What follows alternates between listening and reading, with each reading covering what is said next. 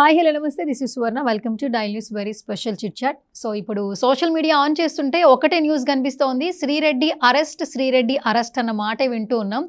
So చాలా media కథనాల్లో చూస్తూ ఉన్నాం. అసలు శ్రీరెడ్డి అరెస్ట్ అయిందా లేదా? అసలు ఇష్యూకి సంబంధించి మనతో మాట్లాడడానికి సోషల్ యాక్టివిస్ట్ కృష్ణకుమార్ గారు ఉన్నారు. ఆవిడతో మాట్లాడదాం.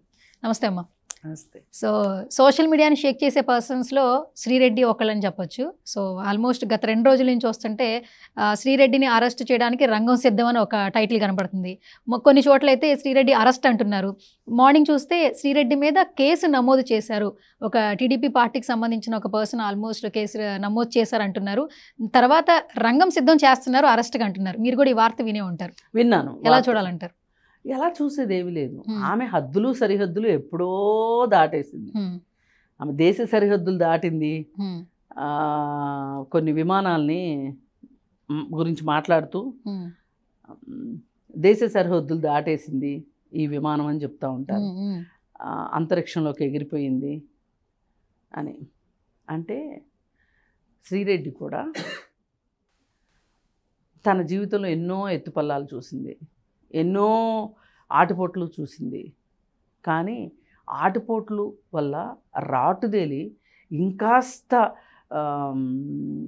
గంభీరంగానో లేకపోతే ఇంకాస్త పదునెక్కి ఒక మంచి మార్గంలోకి మనుషులు వెళ్ళాలి కానీ ఆమె ఏ రోజు డే వన్ నుంచి ఆమె మంచి మార్గంలో లేదు అని చెప్పడానికి చాలా ఉదాహరణలు ఉన్నాయి ఏమో సాక్షిలో పనిచేసినప్పుడు బాగుందేమో ఎవరికి తెలుసు తెలియదు కానీ తర్వాత సినిమా ఫీల్డ్లోకి రావాలని అనుకోవటము సినిమా ఫీల్డ్లోకి రావటము ఈ గ్లామర్ ఫీల్డ్లోకి వచ్చి ఆమె చాలామందితోటి సంబంధాలు కొనసాగించటము ఆ సంబంధాలు వికటించటము వాటి గురించి ఆమె బయటికి రావటము ఇవన్నీ మనం అన్నీ చూసేసిన విషయాలే ఇవన్నీ ఆ సందర్భంలో తనకి మాలాంటి వాళ్ళం కొందరం బాసటగా నిలవటము ఆమెకి సపోర్ట్ ఇవ్వటము.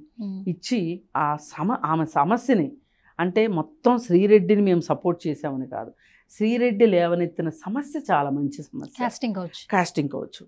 ఆ సమస్య గురించి మేమందరం కూడా ఫైట్ చేశారు. ఫైట్ చేసాము ఎంతో కొంత సఫలీకృతులం అయ్యామని చెప్పాము. చెప్పుకోవచ్చు. ఎందుకంటే ఆ రోజు ఎంతోమంది జూనియర్ ఆర్టిస్టులు బయటకు వచ్చి వాళ్ళ బాధలు వాళ్ళ కష్టాలు వాళ్ళ కడగళ్ళు చెప్పుకోవటానికి శ్రీరెడ్డి ఒక ముందడుగు అయింది ఆ రోజు.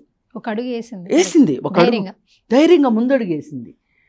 మరి వేసినప్పుడు చాలామంది బయటకు వచ్చి వాళ్ళ బాధలన్నీ చెప్పుకున్నారు. నిజంగా ఎన్ని బాధలు పడుతున్నారా? సినిమా ఫీల్డ్ ఇంత కష్టమా? జూనియర్ ఆర్టిస్టులు ఇన్ని కష్టాలు పడతారా? అంటే ఇంత కమిట్మెంట్ అడుగుతారా? అనేది మనం చూసాం. మొదటిసారి ఆమె తెర మీదకు తీసుకొచ్చింది. సరే ఆ తీసుకొచ్చే మార్గంలో మేం చెప్పినట్లు వినదా లేదా? లేకపోతే ఆమె తనదైన శైలిలో తనదైన పందాలో చేసుకుంటూ వెళ్ళిపోయి మాకు కూడా అందకుండా పొందకుండా వెళ్ళిపోయిందా అంటే వెళ్ళిపోయిందనే చెప్పొచ్చు. కానీ ఆమె కాస్టింగ్ కోచ్ అనే విషయాన్ని బయటికి తీసుకొచ్చింది. అదే టైంలో ప్రపంచవ్యాప్తంగా మీటు అనే ఒక ఉద్యమం జరుగుతుంది. ఈ మీటు కాస్టింగ్ కోచ్ రెండు మేళవించి ఆ రోజు ప్రభుత్వాన్ని మేము డిమాండ్ చేయగలిగాం. మా ఒక క్వా- క్వాష్ కమిటీ కావాలి.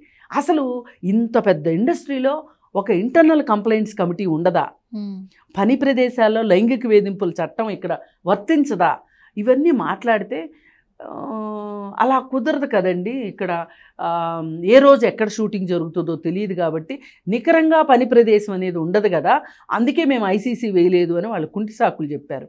అప్పుడు వేయలేదు సరే ఇప్పుడు వెయ్యండి ఒక చోట మా బాధని చెప్పుకోవటానికి ఉంటుంది మా గోడు వినిపించుకోవటానికి ఉంటుంది అనే ఒక ప్లాట్ఫామ్ అయితే కావాలి అని చెప్పి మాట్లాడడము ఆ ప్లాట్ఫామ్ రావటం ఇదంతా జరిగిపోయింది.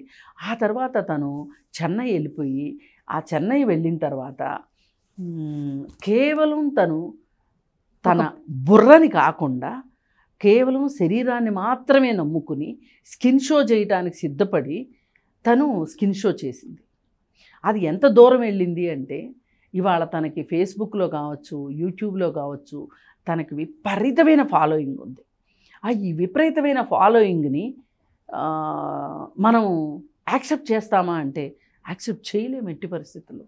పొట్టి పొట్టి డ్రెస్సులు వేసుకొని వీడియోలు తీసి పెట్టడం కావచ్చు వంటల పేరుతోటి ఎక్స్పోజింగ్ చేయటం కావచ్చు ఎక్సర్సైజుల పేరుతో ఎక్స్పోజింగ్ చేయటం కావచ్చు.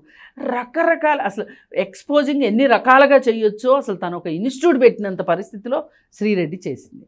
చేసి ఇది ఇంతటితో ఆగకుండా దీనికి ఒక రాజకీయ రంగును కూడా పులుముకుంది. ఒక కులం రంగును పులుముకుంది.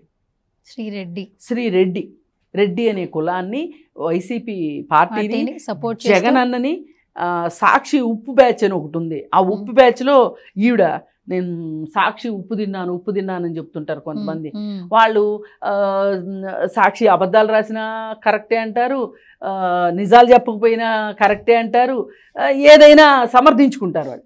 సరే అందులో ఈవిడ కలిసిపోయి ఈవిడ ఆ పార్టీలో తెలుగుదేశం పార్టీని లో ఉన్న పనిచేస్తున్న మగవాళ్ళని కావచ్చు ఆడవాళ్ళని కావచ్చు ఏ విధంగా మాట్లాడిందో జగనన్నను సపోర్ట్ చేసుకుంటూ ఏ విధంగా మాట్లాడిందో ప్రపంచం అంతా చూశారని నేను చెప్పక్కర్లేదు.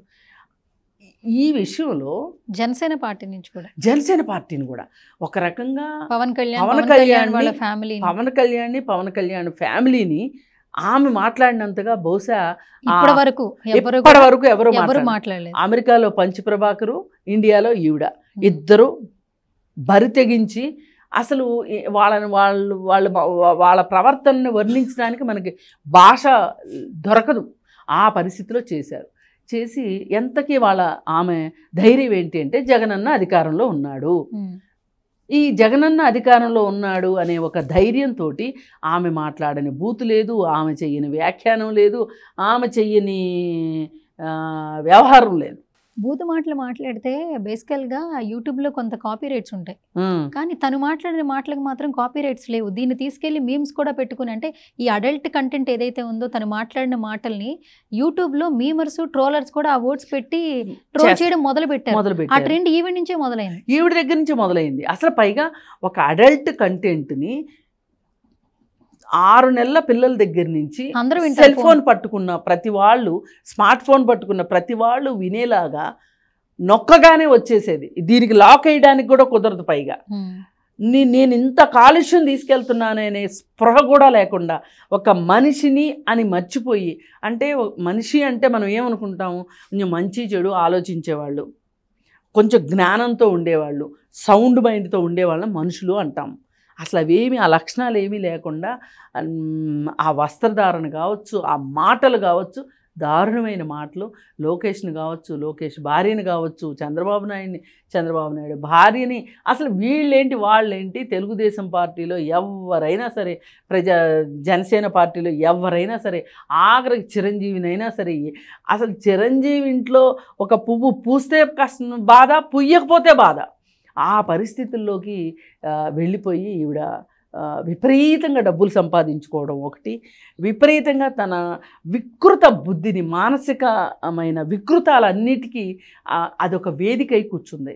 ఇవన్నీ మాట్లాడిన తర్వాత పాపం ఓడిపోతారు అని చెప్పి అనుకున్నట్లేరు ఓడిపోయారు. ఓడిపోయిన తర్వాత మళ్ళీ వీడియో. విశ్వరూపం చూపించింది. రోజా అని తిట్టింది. వైసీపీ పార్టీలో ఉన్న ఆడవాళ్ళ వరకు జగనన్న జగనన్న అని జగనన్ననే నువ్వు ఏం చేసావు? నువ్వు మమ్మల్ని పట్టించుకోవు. మమ్మల్ని సపోర్ట్ చెయ్యవు. చేయు నీ వెనకాల తొత్తుల్ని మిమ్మల్ని పట్టుకుని మేము వేలాడుతుంటే మమ్మల్ని మమ్మల్ని పట్టించుకోకుండా పట్టించుకొని అని జగన్మోహన్ రెడ్డిని తిట్టింది. అసలు ఎటు తిరిగితే అటు. నాలుక ఎటు తిరిగితే అటు మనసు ఎటువైపు అయితే వెళ్తే అటు మాట్లాడేసింది.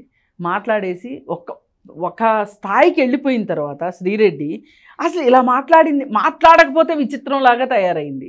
కా నా బాధ ఏంటి అంటే తెలుగుదేశం పార్టీ వాళ్ళని తిట్టినందుకు కాదు. నువ్వు ఒక పబ్లిక్ మీటింగ్లో మాట్లాడి తిట్టు.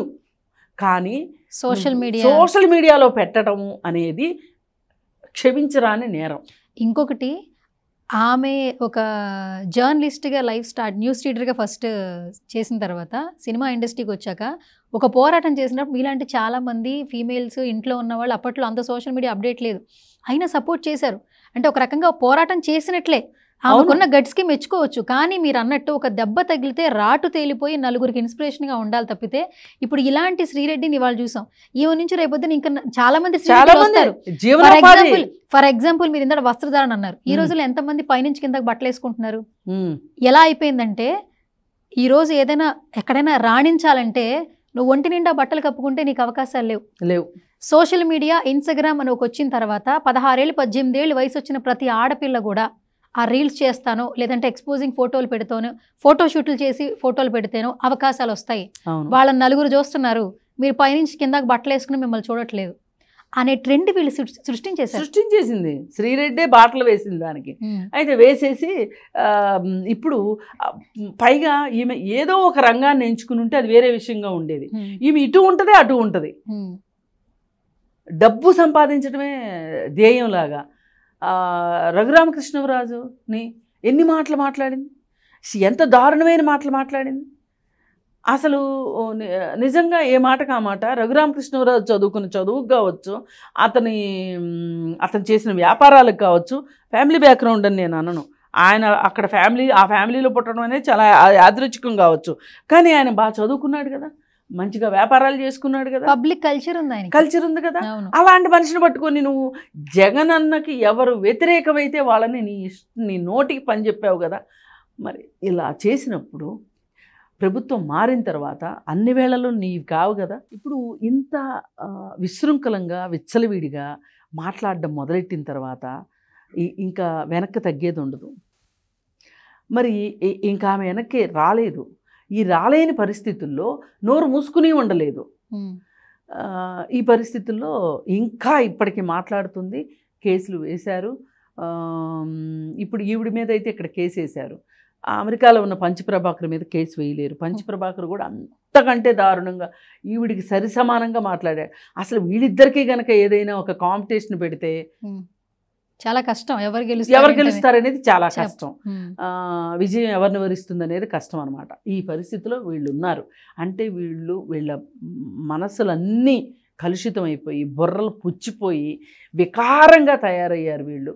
పైకి మేకప్లు వేసుకొని ఏవో ఎక్స్పోజింగే కావచ్చు బట్టలు వేసుకుని అలా కనిపిస్తున్నారు కానీ ఫ్యాషన్ డాల్స్ లాగా. కానీ వీళ్ళకి మొత్తం మనసంతా పుచ్చిపోయింది. దీనికి చాలా పెద్ద ఇలాంటి వాటికి ఏదన్నా రీహాబిలిటేషన్ సెంటర్ ఉందేమో చూడాలి. మాదక ద్రవ్యాలు వాడితే రీహాబిలిటేషన్ సెంటర్కి పంపిస్తారు కదా. దీని ఈ మానసిక కాలుష్యాన్ని మానసికమైన ఈ ఈ అవలక్షణాలన్నింటినీ కూడా డీకోడింగ్ చేయటానికి ఒక రీహాబ్ సెంటర్ కావాలి. ఇవాళ ఒట్టిగా ఆమెను తీసుకొచ్చి జైల్లో వేస్తే కాదు. ఉమ్, విచారం చేసి వదిలేస్తే కాదు. Hmm. ఆమెను రీహాబ్కి పంపించాలి. అసలు ఏ మానసిక స్థితి ఆవిడని అలా మాట్లాడిస్తుంది? ఆ మానసిక స్థితిని మార్చాల్సిన అవసరం ఉంది. ఆ రీ ఇంజనీరింగ్ గనక రీ వైరింగ్ గనక జరగకపోతే గనక ఇట్లాంటి వాళ్ళని చూసి ఇంకా చాలామంది తయారయ్యారు. ఇంకా చాలామంది తయారవుతారు. ఈ- ఈ కాలుష్యం మట్టుకు మంచిది కాదు రాబోయే తరాలకి. మనం మన చుట్టూ సమాజాన్ని కాపాడుకోవాలి అంటే ఇలాంటి వాళ్ళని మట్టుకు ఏరాల్సిందే. ఓకే. చట్టపరంగా. చట్టపరంగా.